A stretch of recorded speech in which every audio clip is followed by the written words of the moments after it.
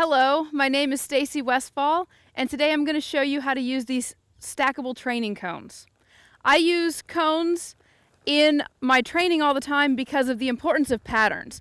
When you have a pattern and you have a plan, it helps you ride a lot more specifically. We've also gone ahead and put numbers on these cones because one of my favorite training patterns is a four-leaf clover pattern.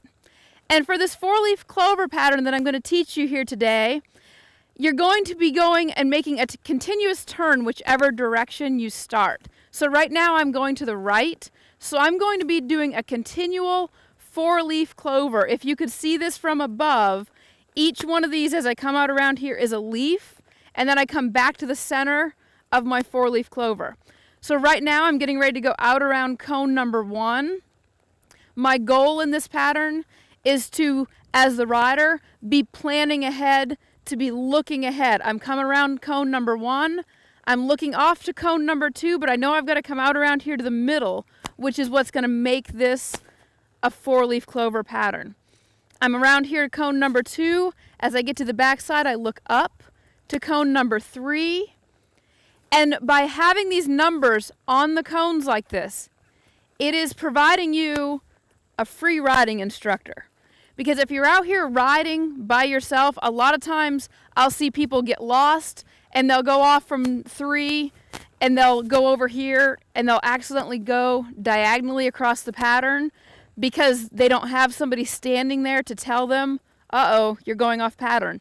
And as the rider, a lot of things can start happening while you're up here because we're going to practice this pattern faster than just a walk. And as you're going around here, Sometimes you'll be thinking about whether or not your horse was steering or pulling in or pulling out, and you'll find yourself lost in the pattern. By having the numbers on here, when you come around from cone number three, you're going to be looking up to cone number four. And this is also going to help you as the rider to be riding more with a purpose because when I get to cone number four and I know I'm headed back over to cone number one, I'm going to do a better job as a rider looking where I'm going. As I turn and I look around the corner, it changes the way that I sit on my horse. And by riding with a purpose like this, this is how your horse is going to get that more subtle cueing system that we're all after. So I'm going to take Vaquero here and I'm going to move up to a trot. This pattern can be done at all gaits. It can be done in all different bridles. So right now, if I'm using a shanked bit, I could be doing this in a snaffle bit. I can be doing it one-handed or two-handed. And it's going to give me a very specific goal. The more often that I look up and around where I want to go, the more Vaquero is going to get comfortable with what that feels like. And that's going to allow me, as he gets more advanced, to give more subtle cues that he's going to listen to because we've practiced with so much consistency and so much repetition. A frequently asked question about this pattern is what size would you set this pattern up?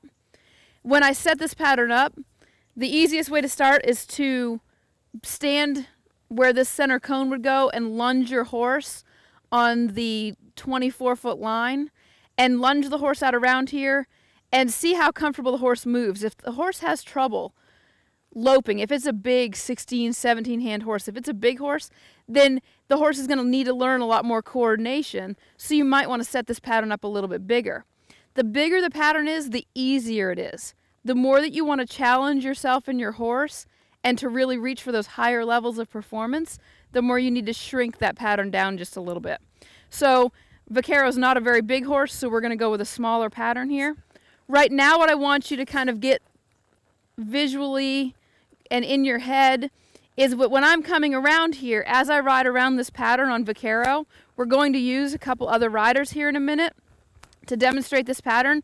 I want you to think that when you're doing this pattern, you're trying to figure out, first, you just want to conquer doing the pattern.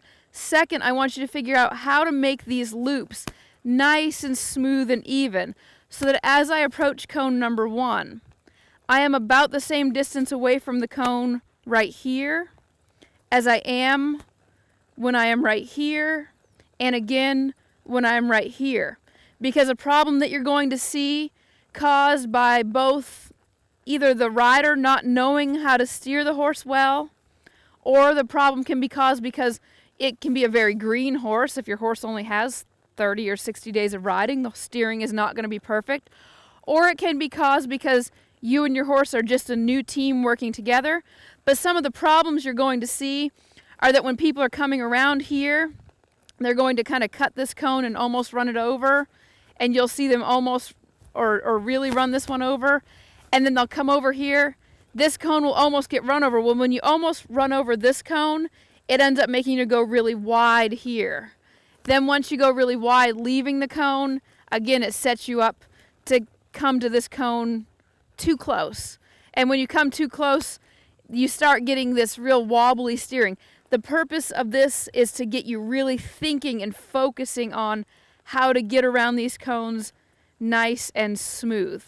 So I'm going to ride Vaquero here for just a minute in a couple other gaits and show you how this pattern can work at a walk, a trot, and a lope, one-handed and two-handed.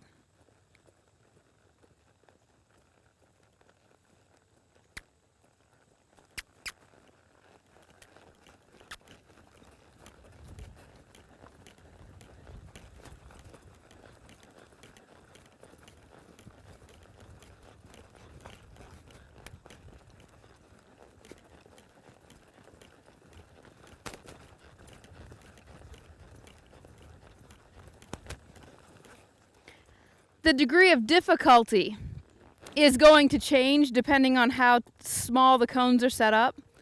And so the size that I have this set up for is really good for somebody who's learning the pattern at a walk or a jog. If you start to do an extended trot on about a 15 hand horse in this size, you're going to start to feel that it feels tighter. And you could see how it was a challenge for Vaquero because as he went around those corners, especially when you watch me go around cone one, as he goes around these corners, he's got to make a decision to really collect and use his body well or to try to break gait. So what you saw happen when I went to lope around cone number 1 was that he he he asked if he could stop or break down to a trot because he really didn't want to do the work of collecting up and really using his body because it's very much like doing a a very correct sit up or push up. It's a, it's a lot of work. And so this pattern is great for conditioning. I'm going to go ahead and go the opposite direction.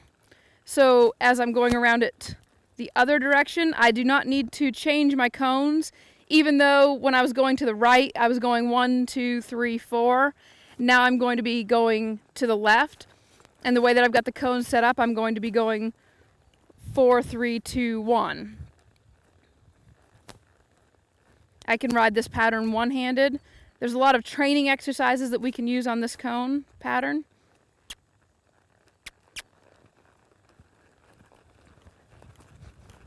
Look ahead.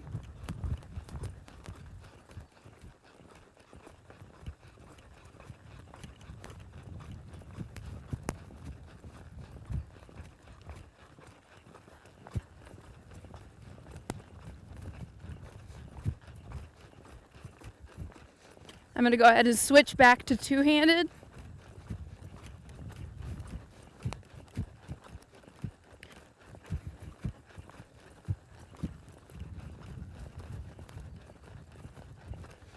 Now I'm going to go out around the outside of the pattern. So I'm going to lope a circle out around the outside of all four of the cones. And I'm going to establish a nice, round, even circle. I use this in my reining patterns all the time because this is a size that I would do my small, slow circle in a reining pattern. And a lot of people struggle with doing a small, slow because it seems very difficult. But if you set up a small, slow that is just a little bit bigger than your four-leaf clover pattern, when you come down to your small, slow in your reining pattern and you want to practice that speed control, if you offer the horse the chance to slow down in the small slow and the horse doesn't slow down, what I'll do is I'll take that horse into a four-leaf clover pattern inside of my small slow circle. So you can see how this four-leaf clover pattern fits inside of my small, slow reining circle. And we've already talked about how these tight turns encourage Vaquero to really want to slow down because it's a lot of work, so he really desires to slow down because of this pattern being used here. Another great thing about this pattern is you can use it inside of a round pen area or any kind of a small area that you have to ride.